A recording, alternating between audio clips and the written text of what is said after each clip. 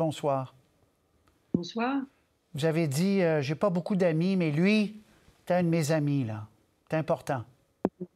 Oui, un de mes amis. Et quand je dis ça, j'ai vraiment le cœur gros. Guy Latraverse, on l'a entendu, je ne sais pas si vous avez pu entendre juste avant, il a dit, et c'est un vieil extrait des années 70, il a dit c'est quand même pas normal qu'en 73, 75, on n'ait pas d'artistes québécois qui brillent. Il y avait ce désir de vendre, dans le sens noble du mot, les artistes. Oui, oui, il a réussi d'ailleurs. La francophonie, il a réussi. Le Québec, euh, le Québec en français, et quand il faisait des voyages, Guy il allait bon rencontrer Marouani, il parlait d'artistes, de, de, de, Guy Bedos, de, de, Raymond DeVos, euh, Aznavour. Il revenait, on était complètement dans son rêve et, et, il a vraiment ouvert la grande porte de la francophonie. C'est Guy qui l'a fait. Quand on dit que Guy n'est, plus, Guy il est toujours là, il c'est toujours là, tout ce qu'il a bâti est, là. Et euh, bon, on va peut-être, il y a d'autres producteurs plus jeunes, d'autres générations, mais la base, la base, c'est Guy. Il était le père, l'ami. Il aimait profondément les artistes. Et dans son domaine, il ne faut pas oublier que Guy avait du génie. Il prenait son génie et il était d'une grande générosité. Il n'y avait jamais rien d'impossible pour Guy. Puis Dieu sait que j'ai mis des bâtons dans les roues, ce soit impossible, mais des grands spectacles. Et pour lui, c'était toujours une motivation. Bien justement, le, génie, ça vient avec les débordements, avec cette espèce d'énergie euh, qu'il faut, euh, faut harnacher euh, presque. Et avec vous, il a fait la Magie Rose en 84. Vous avez été la première à aller au Stade olympique, 55 000 personnes. Il vous a poussé, donc. Disons qu'on a été poussé par euh, bon, le, gouvernement du Québec, mais il m'a poussé, il m'a pris au, au, Patriote au départ.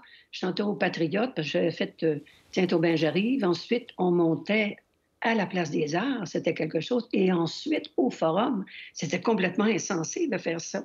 Puis ensuite, un deuxième forum avec deux spectacles, mais il n'y avait pas de limite. Il était, je le suivais, je suivais ses rêves, en fait. Je ne demandais pas, moi, de faire le forum ou faire le stade. C'est lui, on suivait Guy. Et on grandissait. Parlez-moi quand même de ce spectacle, Diane Dufresne. Euh, c'était quelque chose, là. Moi, j'y étais, j'étais, c'était quelque chose. C'était plein, c'était grandiose votre folie, puis j'emploie le mot haïtien, avec la sienne, les deux ensemble, c'était extraordinaire ce que ça a créé, là. Oui, absolument. Mais surtout, ça avait comme des conditions, bon, je demandais des conditions euh, pour le public, parce que c'est toujours travailler pour le public. Bon, c'est sûr qu'il y avait un train qui coûtait une fortune, comme il a dit au début. Je ne savais pas que ça coûtait aussi cher, mais c'est quand j'ai dit, faut, au stade, il faut mettre un toit. Et euh, C'était insensé. Il a dit OK, on va faire un toit. Et il a fait, à cette époque, les lasers, c'était une grande nouveauté. Donc, le stade, il y avait des. Dans le, le, toit du stade, il y avait des miroirs. Donc, il y a eu des lasers qui sont à la fin du spectacle. je ne sais pas si vous vous souvenez. Bon, il y avait une transparence, mais quand même, pour Guy Latraverse, il y avait, bien sûr, il y avait, bon, la roue, le parc Belmont, les lasers. Et pour Guy, c'était une, une motivation. Puis, à cette époque, Guy, c'était une période difficile pour lui. Il était dans sa maladie, mais quand même, il était présent. Il a fait tout ça malgré une maladie, parce que malgré toutes ses épreuves, Guy, prenait ses épreuves. C'était un homme d'une extrême, il était très, très, très courageux. Et ça devenait autre chose. Il passait, il, passait à travers, et, ça, devenait, ça devenait comme une cause humanitaire. Il allait encore plus loin. Il allait au-delà de lui. De toute façon, on voyait toujours un homme assez straight, mais Guy était très, très, très, très allumé, là. et après, vous parlez de sa maladie, il était maniaco-dépressif il en a parlé. Il a tenu après, justement, à parler de ça, qu'on parle de, des problèmes de santé mentale, qu'on démystifie un peu. Puis je, je pense qu'il disait, moi, sans mes aïe, il y a des choses que j'aurais pas faites de la même façon, mais c'est sûr qu'il faut vivre aussi. Et euh, il, y a, quelque chose d'intéressant là-dedans. Il, il a emporté beaucoup d'artistes dans ses hauts. Puis lui, il a dû gérer des, difficultés aussi euh, pendant de longues années. Oui, de longues années, durant pas mal toute sa vie. Et on l'apprenait après, parce qu'il nous contait des fois des, des, des, bouts de sa vie, mais il, le faisait avec humour. De toute façon, il était des fois entouré d'humoristes quand il faisait ses gros parties.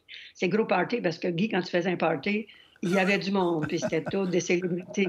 Et ça, il comptait ça. Euh, puis il devenait de plus en plus, parce qu'il était quand même le boss, hein, c'était une star au début. Quand Guy Latraverse arrivait, on savait que notre carrière prenait de l'ampleur. Mm. Mais avec les années, avec sa maladie, il devenait de plus en plus humain, il devenait de plus en plus grandiose. C'était un homme d'une grande exception, c'était fait partie de notre histoire. Lui, c'est sûr qu'il y a des joueurs de hockey, mais il y a quand même Guy Latraverse aussi. C'est bien dit. Diane Dufresne, merci de nous avoir parlé de votre ami, de l'importance de Guy Latraverse.